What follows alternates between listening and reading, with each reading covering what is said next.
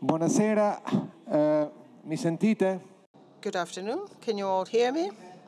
Can you all understand me and hear me? My name is Marco Zatterin. I work for the for La Stampa, which is a uh, startup that started open in 1887, and it's a renowned newspaper. We were quite su successful in this last uh, century and a half. We're more successful uh, than food rights. And we are here to defend food rights, and we do not always have good results. This is the reason why Terra Madre organized this panel to talk about social rights and social justice. And uh, how important it is to have food for all. And uh, food needs to be protected in a way that is respectful uh, towards the planet, towards the uh, right of those who eat and don't want to be eaten up. Before giving the floor to Barbara Albini, who's the uh, uh, president of Food Italia, we have uh, Antonio Augusto Mendes dos Santos, uh, a Brazilian organic farmer, slow food activist, president of a few cooperatives he did a lot for his country. On my right, we have uh, uh, Victoria Tauli Put, indigenous uh, leader of the Kankana-ey Igorot. I hope I pronounce it correctly. There's no Italian page on Wikipedia, for example. We should have an Italian page on Wikipedia. It's an important population. Uh, eating mainly and making a living out of rice, and they have difficulties in uh, growing rice because they have either too much or too little water. And then uh, uh, Willie Peyote is a rapper. He's involved in uh, protecting the rights in all the stages of the world. And then, uh, last but not least, Don Luigi Ciotti. He established Libera in 1995. But before uh, starting our presentation, I give the floor to Barbara Nappini. Thank you, Marco. Thank you all. I will be very brief. I don't want to uh, uh, take too much time away from uh, this evening or this afternoon's speakers. I'll try to explain why slow food is involved in social justice. Slow food is involved in social justice because the theme of food is closely connected to human rights.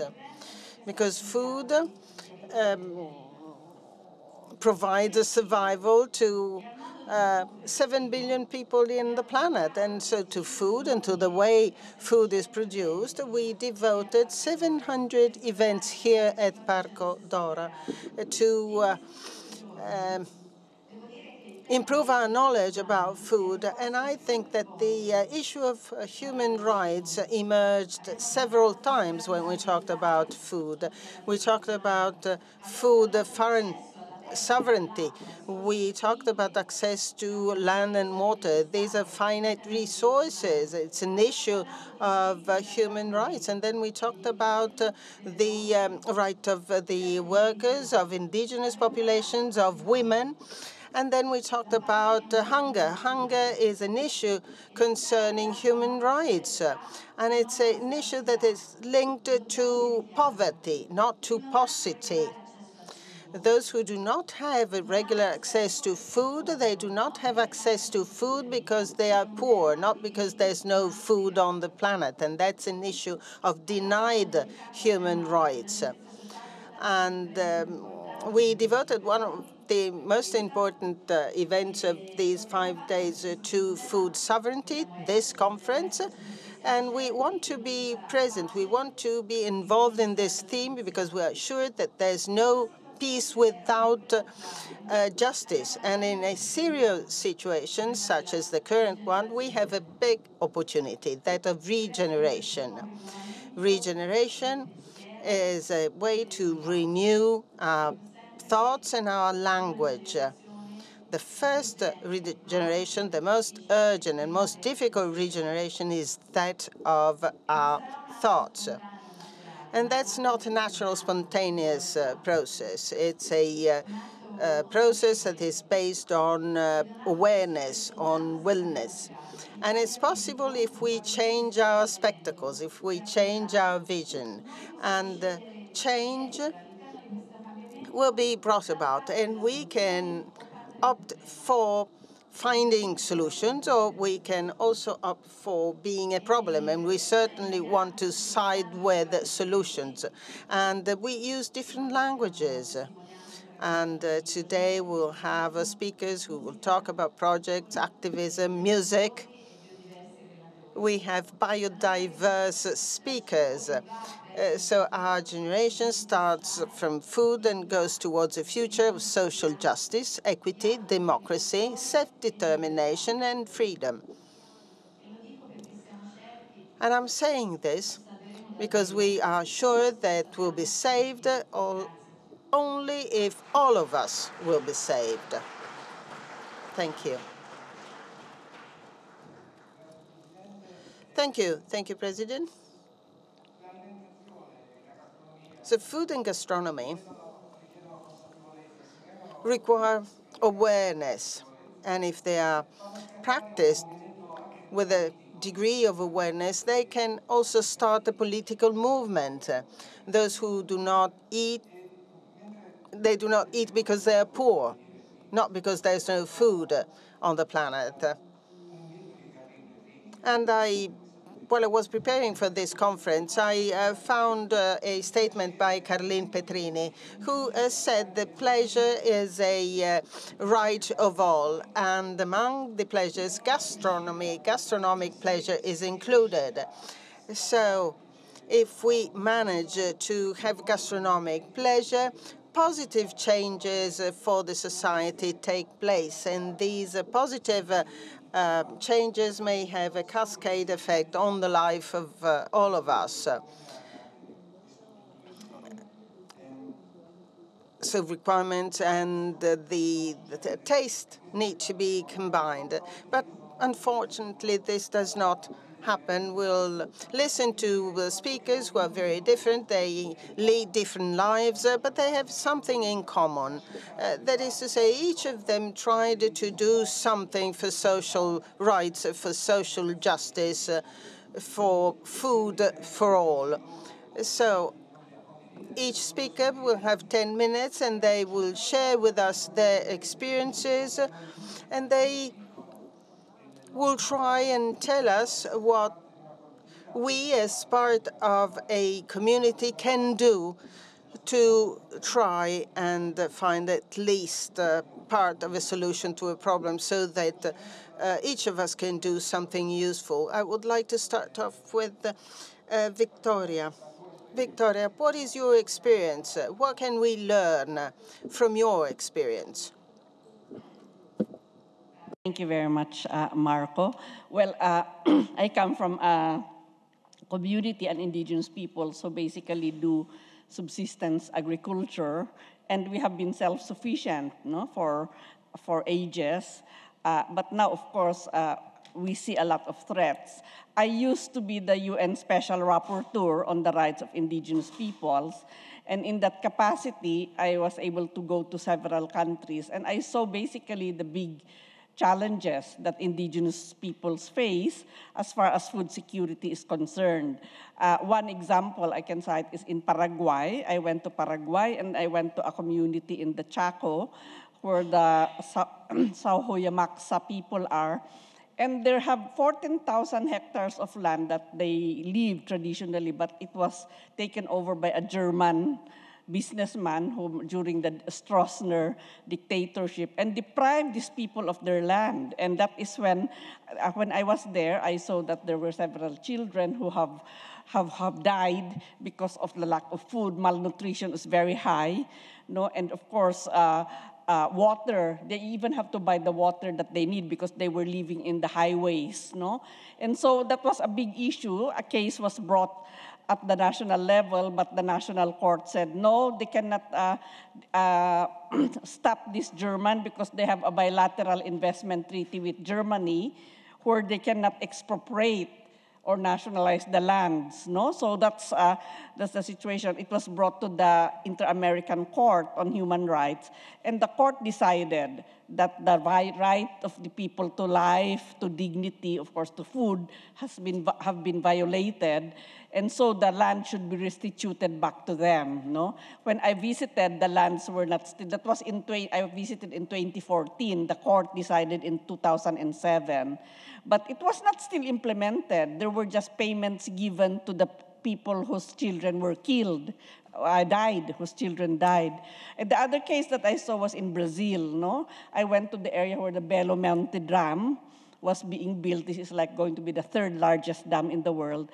And the people who were depending on the fish along the Xingu River, uh, the Juruna, uh, among others, the, their no, the fish is not there anymore because, of course, the water has been dammed and they, the fish cannot be uh, swimming in the rivers anymore. So uh, that, those were the cases that I've seen, at least in Latin America, which really gives me, I mean, you know, the, the thing is, uh, gives, gives me the conclusion that if there is no land security, the right to land, to forests, and to fisheries, is not recognized by the state and it's violated, then of course people will have no food. And their cultures that come along with the food, the knowledge that they, they have will, will also disappear. So uh, this, uh, this is uh, really the problem that indigenous peoples face as, as far as right to food is concerned.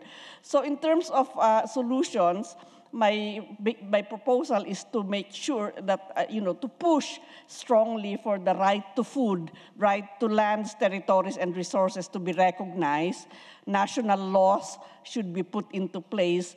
The right of indigenous peoples to be consulted, you know, to, to, be, uh, to get their consent whenever any government project like dams are brought to their communities or when, when uh, big agricultural plantations like what I saw in Mato Grosso do Sul in, uh, in Brazil, where tracts and tracts of lands were used for sugarcane and also for production of uh, cow food, no, the uh, soya beans and all that. And so the people, again, they were, several of them, in fact, got killed because they were fighting against the, the expropriation of their lands. And so that's really uh, the kind of problem that we face, where more and more big uh, rich people appropriate uh, hundreds and thousands of uh, lands, and some of these lands are indigenous lands, including their forests.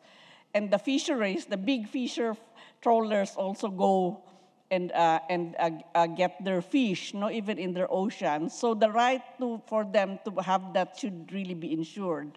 Uh, in my country, the Philippines, uh, we have people, we are 7,100 islands, so most people, many people are fisher folks. No? And, and so we managed to get the country to pass a law that protects indigenous people's rights. And one of the rights is for their ancestral waters to be delineated. No, that they should be delineated. These waters are the ones that uh, the people depend upon. And in, in, the, in the place where it was delineated and, and, and protected, many of the fish came back. You know, in the past, all the fish are disappearing. Then the diversity of fishes and other marine resources have come back, and now they are in a better uh, situation. So that's the first thing to think about. And of course, to, for them to be consulted whenever any project is brought to their communities and to, for them to determine the kind of development that they would like to pursue. No, many indigenous peoples don't like their lands to be converted into monoculture plantations. We have friends in Africa, they are pastoralists, they depend on the, on the grasslands. But some rich people from the Middle East, they went there, they bought some lands to make as their game parks, no, where they go and shoot the animals or as their tourist spots, no? And that is causing a lot of problems. We have some friends here, I remember, from Endorois, who filed a case and they won the case, but again, it's not being implemented. And so finally, just to say, uh, we can file and we can lose, uh, we can spend a lot of money on filing the cases, But uh, at the end of the day, the implementation becomes the problem. No, the states don't implement, the corporations don't listen. No, and so uh, my uh, my conclusion is that the work that we need to do much more on our side is to further empower our own communities so that they will really have the power to stop these kinds of things that are happening in their, in their territories. They have to sustain their efforts to pass their traditional livelihoods and their knowledge to the younger generations because the younger generations will be the ones who will be able to carry on the, their own traditions and cultures. And finally, of course, to ensure that women are also very much involved, equally involved in the processes. Women, the indigenous women are really the food producers. They are the water providers, they are the food producers, but sometimes they don't have a say. And so we need to make sure that they also have a say in deciding the development that they have so that the food sovereignty and food sufficiency will be achieved. Thank you very much.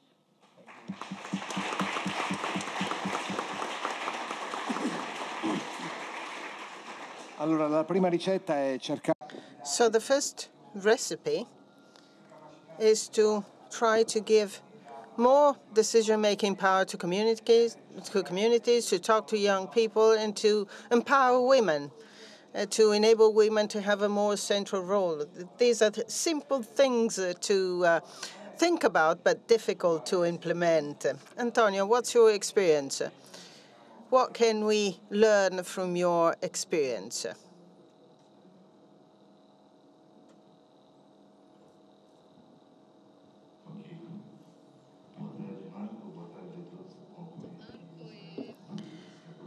Good afternoon to all of you. Thank you for being here. Well, first of all, I'm honored to be here.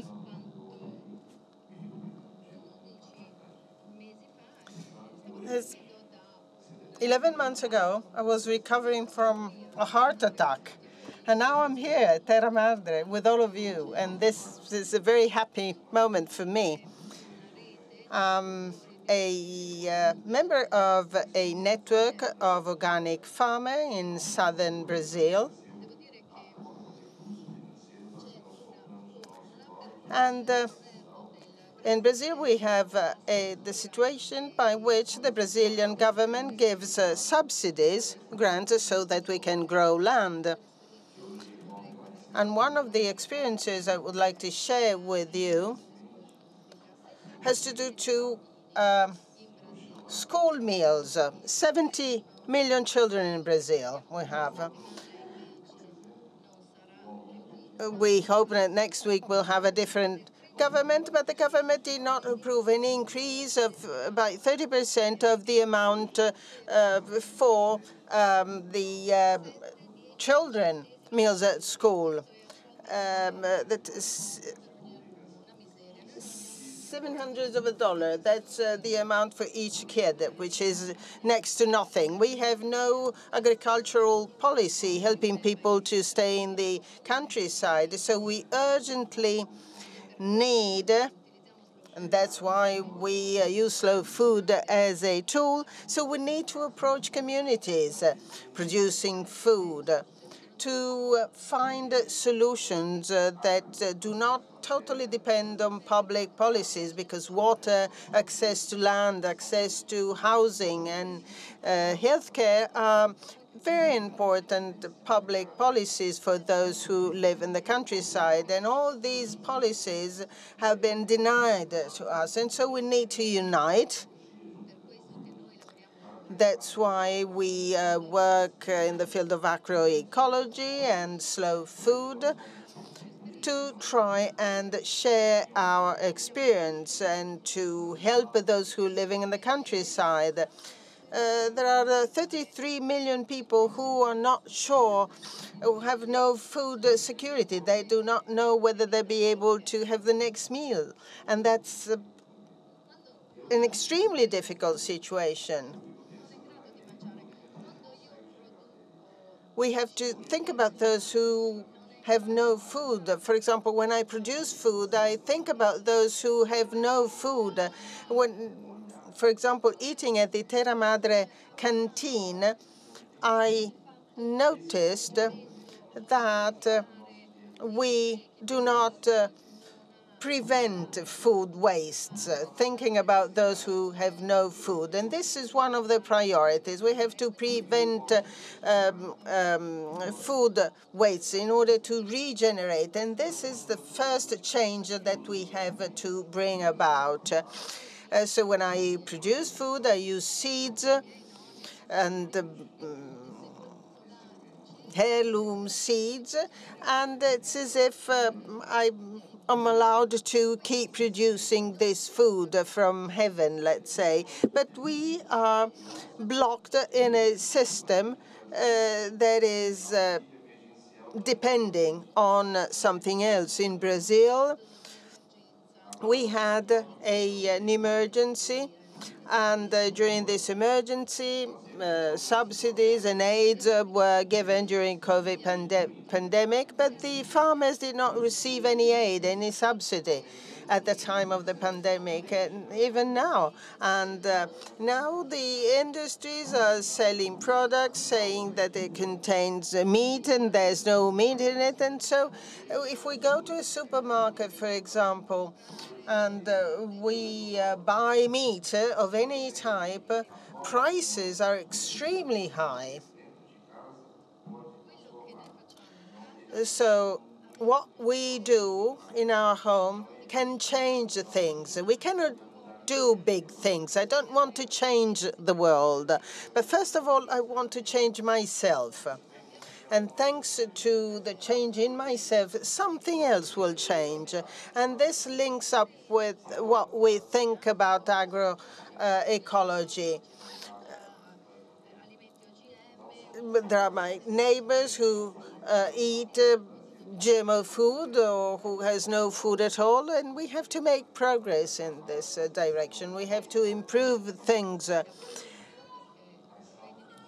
I wrote down a few notes because I don't want to forget important things. Uh, but one of the first actions of, uh, of our current president uh, was uh, to eliminate Food Security Council. And that's something that is important for all of us, uh, all of us who work in the field of human rights and work in the field of the right to food. And so our objective is to ensure healthy food to all Brazilian people.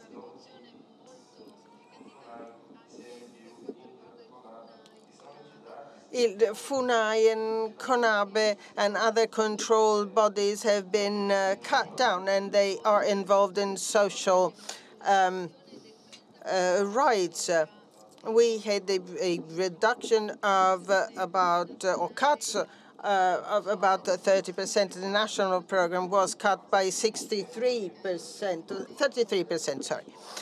Um, um, I took part in these programs with my cooperatives. Uh, for example, the, sco the school where my uh, son goes has been included in this program. But we have to bear in mind that many pupils in Brazil just have one meal a day at school. That's why it's so important to overcome this difficult uh, period of time we are going through in Brazil. So we have to put pressure on the government. And our work as slow food movement, as activists, is uh, very important to ensure good, clean, and fair food for all, as Mr. Petrini said. And we have to uh, fight for further uh, progress so that uh, this type of food uh, will be brought to the tables of all Brazilian people. But this problem or this issue do not just uh, relate to Bra uh, Brazil, but to the entire world. Slow food is present everywhere in the world, and so it can do a lot.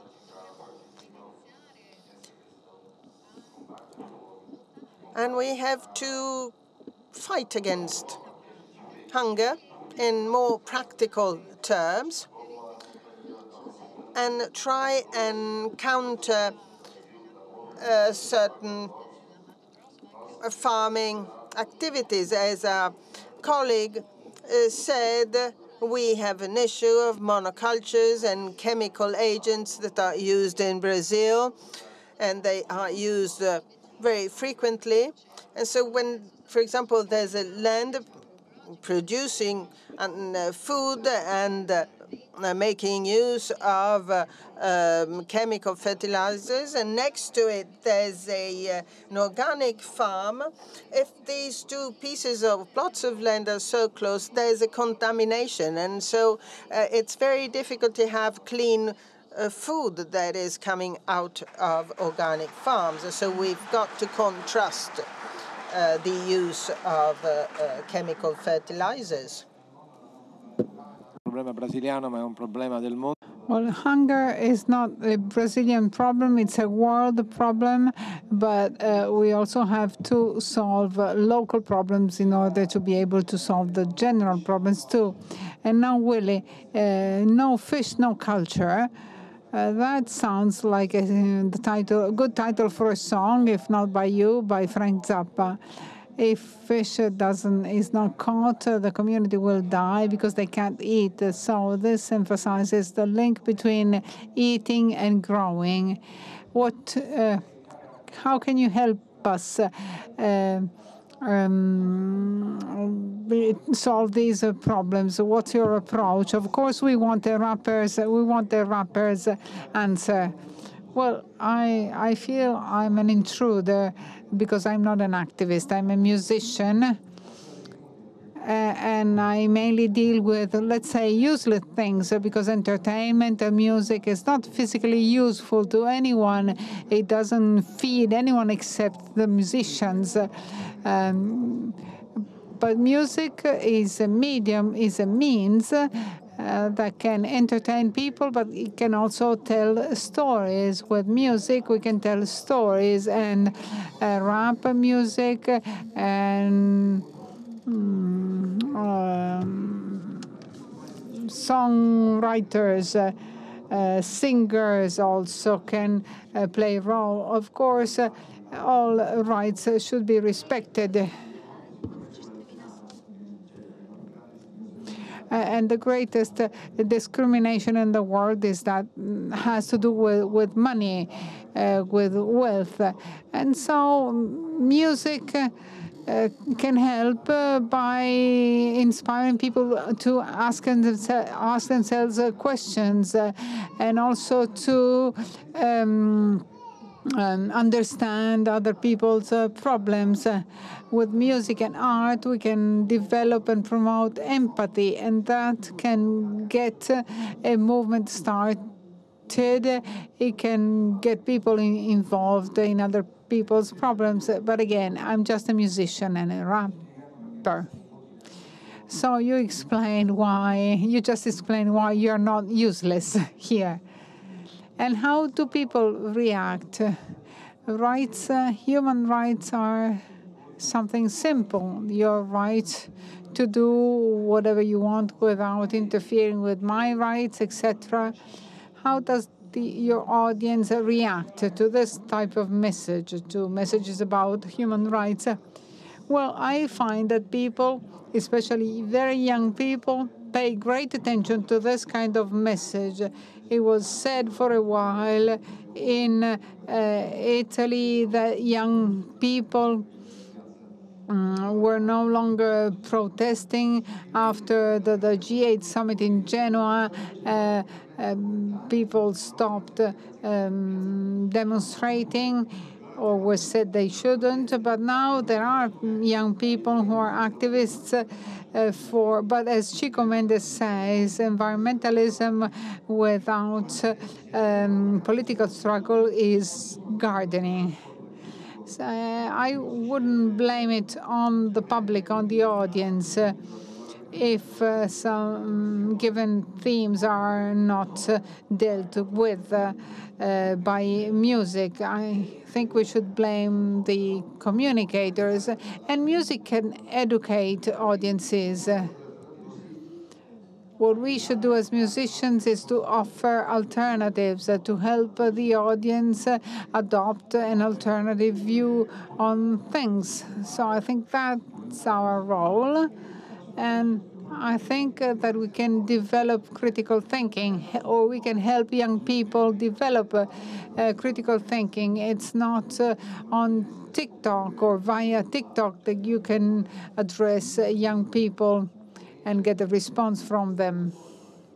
And we have to listen to the young people. I'm 37 year old and so if I address uh, a, an audience of 18, 18 year olds, I could be their father. And it's not uh, that as I'm a little younger than others, uh, I'm better at uh, talking to people. I, I just uh, try to say the truth, and that uh, helps. I think we should listen to young people and that we should uh, uh, try and understand diversity, even musical diversity. We need, if we don't understand the language of young people, it's because we don't know their language, not that they are saying things that cannot be understood. So I think uh, young people are never wrong. It's it's us, the adults, who do not understand them. Well, listening to young people is useful, and helping young people uh, ask further questions uh, is a good thing. How about you, Don Luigi Ciotti? I'd like to ask you the same question that I asked the other speakers. In your experience, or based on your experience, uh, what um, kind of experience can encourage us to do something as soon as we leave this room. Good evening to all of you. I represent us. I do not represent I. I'm here to represent the world of associations, of groups, of people who over the years uh, joined together, joined forces. The, this organization is called Libera. Libera is an association of uh, associations uh, aiming to combat uh, illegality and uh, organized uh, crimes and mafias. Uh, the issue of mafias and organized crime is present everywhere in the world. The Libera Association was set up after the mafia slaughter, after Judge Giovanni Falcone and his wife were killed. And then uh, there was also an attack that killed Paolo Borsellino, Judge Paolo Borsellino. And there were many more attacks uh, that killed hundreds of people. People who were killed by criminal violence. And so we, as citizens, as groups, as associations, wondered what we could do. And in 1995, in uh, Italy, we collected 1 million signatures for a project, that is to say, to confiscate the assets of uh, mafia organizations, of uh, crim criminal organizations, and to give this money back to the collectivity for social purposes. And these assets are uh, lands, fields, farms, they need to be confiscated um, in compliance with the public law, and we organized uh, uh, labor cooperatives uh, based on confiscated assets, assets confiscated uh, from the mafia. And then uh, the decision to opt for organic farming has been very important. The cooperatives uh, that start working have to be self-sufficient. The products um, produced by experts. Over the years, uh, they became good quality products, and of course, they are sold on the market. And these cooperatives enable tens of young people, tens of hundreds of uh, uh, young people to uh, work uh, in a dignified way, selling good and clean product. So this organization is called Libera. Today is no longer just present in Italy, it's present everywhere in Europe and in Latin America. Uh, a couple of months ago, we were in Argentina because in Argentina, there's a high demand for setting up associations, for setting up a movement uh, with the purpose to confiscate assets uh, from uh, organized crime and use these assets, this land, to give get dignity back to a lot of people. And then make products, uh, products that are really food, healthy food, good, clean and fair food. And this contributes to fight criminality and to fight uh, mafias and organized crime. So this organization was set up in my country, in Italy. So it's us. We put together a lot of uh, forces, but this organization has enemies. Uh, these enemies do not want that. The first enemies are the criminal people, corrupted people, and uh, mafia organizations, because uh, this activity is a slap in the face, because they see that the power that they acquired with violence, with legality, by killing people, and so they see that their power is defeated, is taken away from them, and these assets are given back to young people, to cooperatives, and to groups of people. That's a slap in their face. And it's fundamental. So the confiscation of the assets and their social use is also a uh, has a cultural and educational purpose, a social purpose in the area. So those uh, areas have been uh, cleared of violence. But having said this,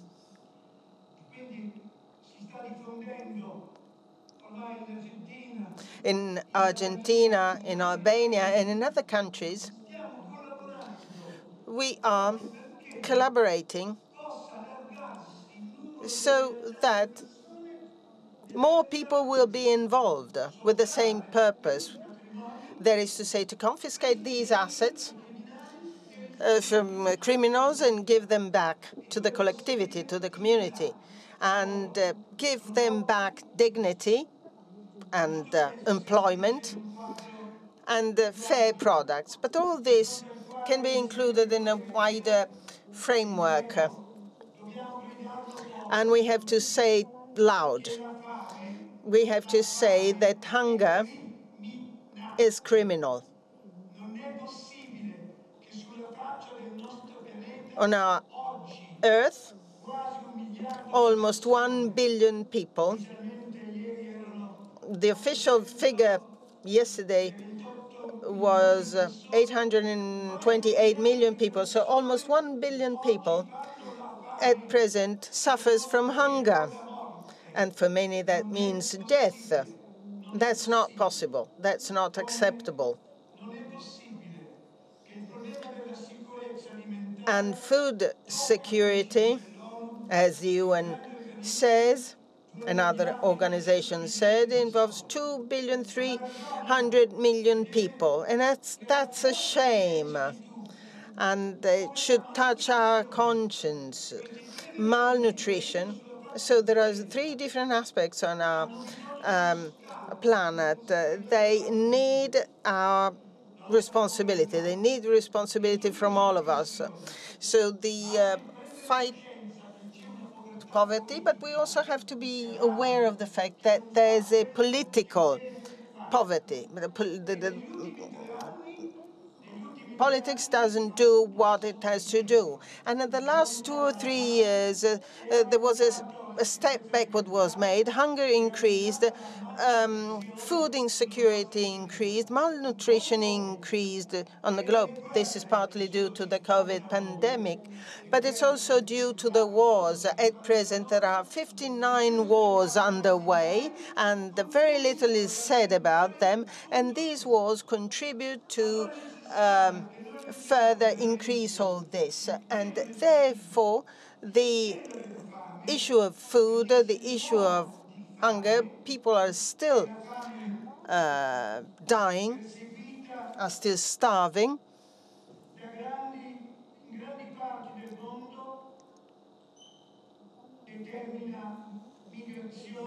Causes migrations, huge migrations, and the despair of thousands of people. But there's also hunger for freedom, for justice, for dignity and democracy.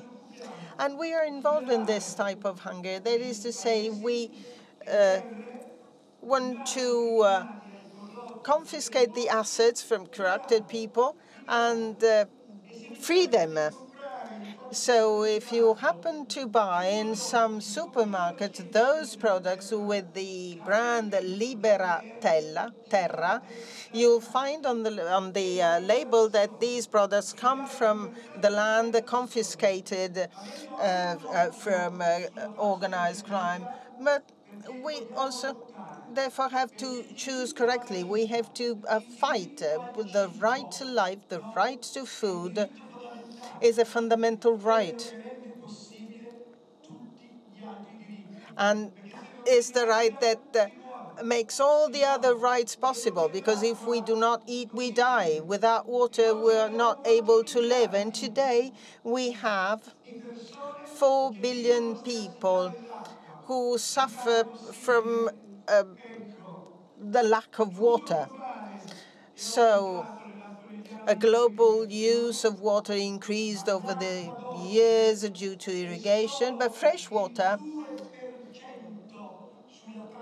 accounted just for 2% of water on the earth. And as to the availability of uh, fresh water to human beings is just 0.2%. And that's not acceptable. So we have to do something. All of us have to do something you are the masters, you are the experts in this. And so uh, just three multinational, three big corporations in the world uh, control 63% of the grains market and 75% of uh, agro um, chemicals or drugs. That's not acceptable. So we have to fight against that. that. All of us have to uh, fight and we have to join forces to fight all this. Thank you.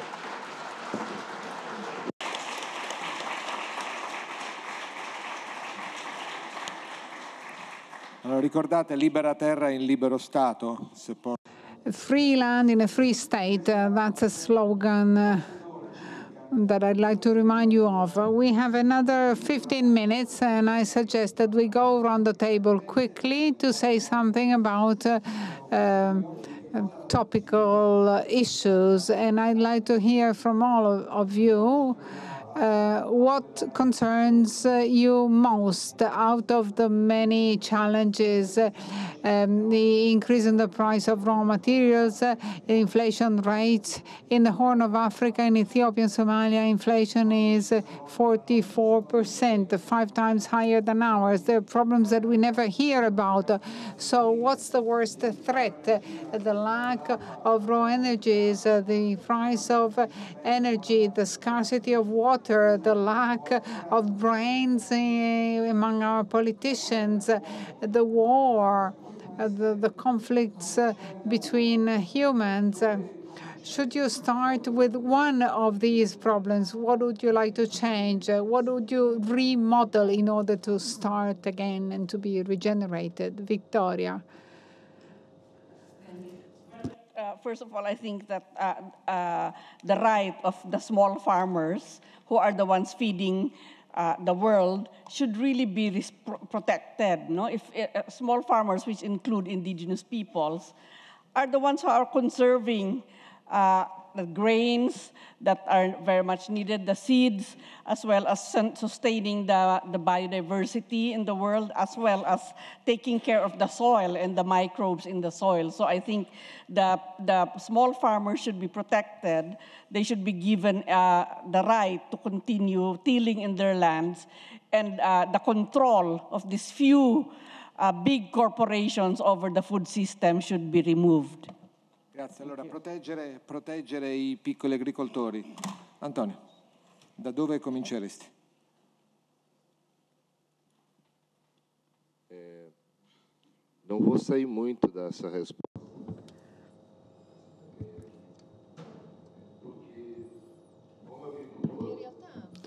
Well, as a farmer, one of the main threats concerns seeds. I agree with Vittoria. We have been discussing about that, and also the bees.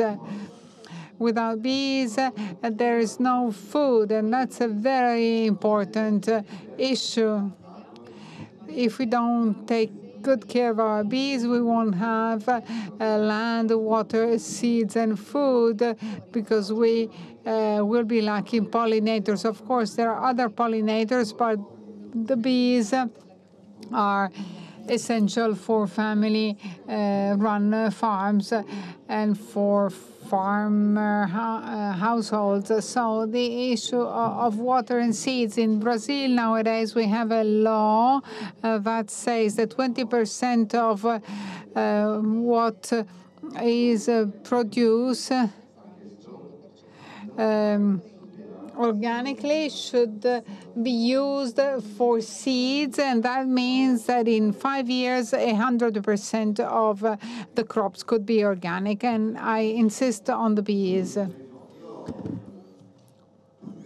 Well, I'd start with the cultural drift. Uh, if the economic capitalist system is uh, not just a form of government, but it's a form of thinking, and the maximization of profits is the only goal for humans, artists, uh, politicians. Uh, making one uh, more than the day before is uh, what drives most people. And as long as uh, this is the goal of everyone, we lose sight of smaller realities, large corporations grab the land.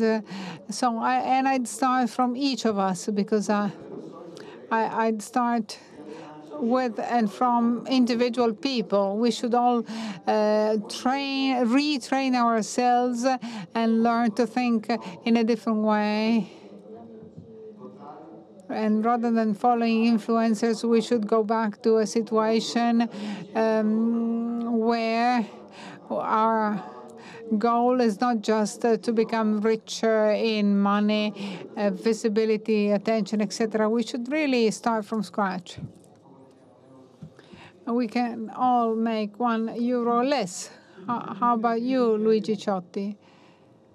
Well, I'd simply like to say that the worst disease here in our country is um, um, is thinking that the responsibility always lies with someone else. So people who are neutral, people who uh, look on what the others uh, do without taking on their responsibilities are the worst uh, threat. Also, resignation. When they tell you things will never change, that's not good. So it's a cultural and educational challenge because culture awakens consciences. And I'd like to say something about the role of information, of, of of the spreading of information. Uh, we're too ignorant. Uh, things are made too simple. And so we have the challenge of providing people with tools that will allow them to become aware of the situation. In Italy, we are we have a high rate of illiteracy. We are in Europe the the last we are the last country in Europe in terms of educational poverty. We have too many school dropouts dropouts. So we need a cultural battle. We need to make people awareness of this cultural problem so that we are all educated enough to support those who fight for freedom for their freedom, for, for their dignity and right. And young people can be wonderful. We should not tease them. They are ready to fight for good ideals, but politics should. Uh, uh, pro should uh, provide measures that are serious and, and caring vis-a-vis -vis young people. We should make room for young people. So let's stop uh, uh, being neutral and not taking on responsibilities. Let's stop using alibis. Alibis are false solutions to problems.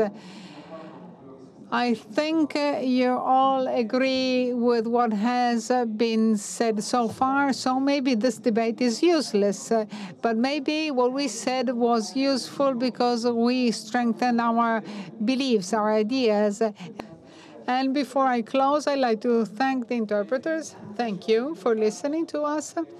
And before we close, we have a video from Marcia Chatelain, who's a, a who won a um, Pulitzer Prize. I'd like to thank Antonio Mendes dos Santos for coming from Brazil, all the way from Brazil to speak for 15 minutes. Uh, we are really grateful.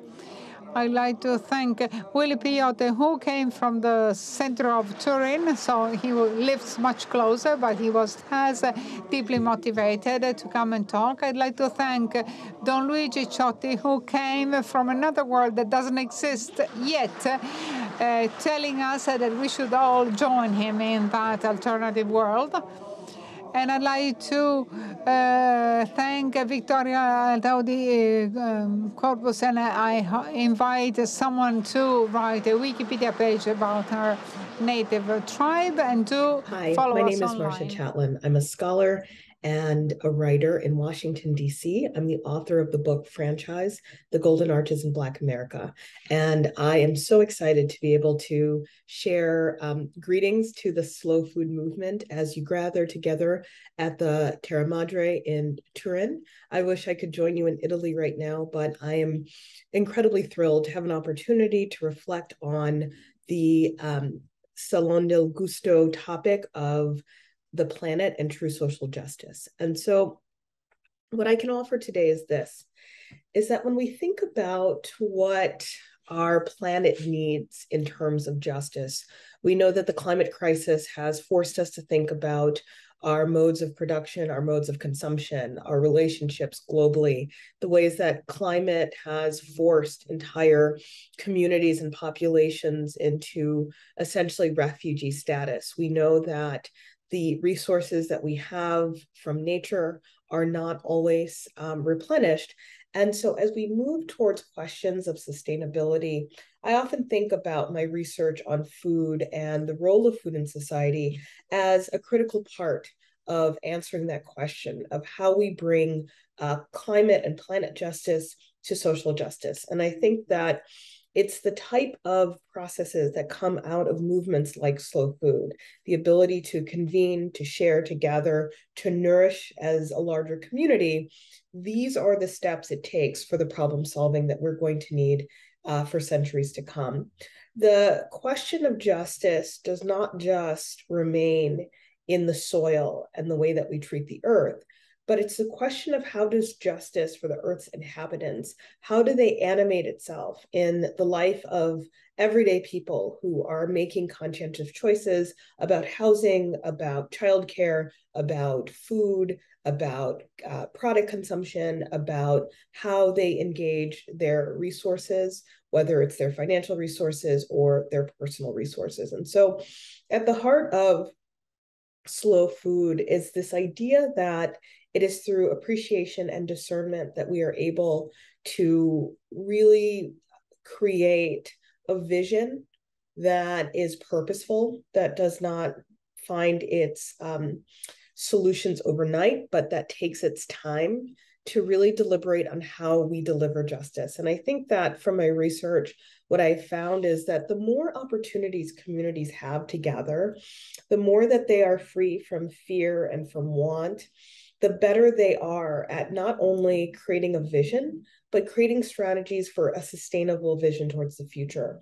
You know, much of the conversation about sustainability um, throughout the globe is about the environment. But when we think about racial and economic and gender justice as part of sustainability, we are forced to ask ourselves does this solution anticipate? Does this solution include? Does this solution imagine um, a rapidly changing, diversifying uh, world? Does it take into account the various histories that people bring with them as they are confronted with the many challenges of our nation and our world and can it imagine um, modeling um, an inclusive and dynamic approach to thinking through our future problems. And so I think what Slow Food has the opportunity to do um, in thinking about planets and justice and people is to continue to inspire people in these moments of conversation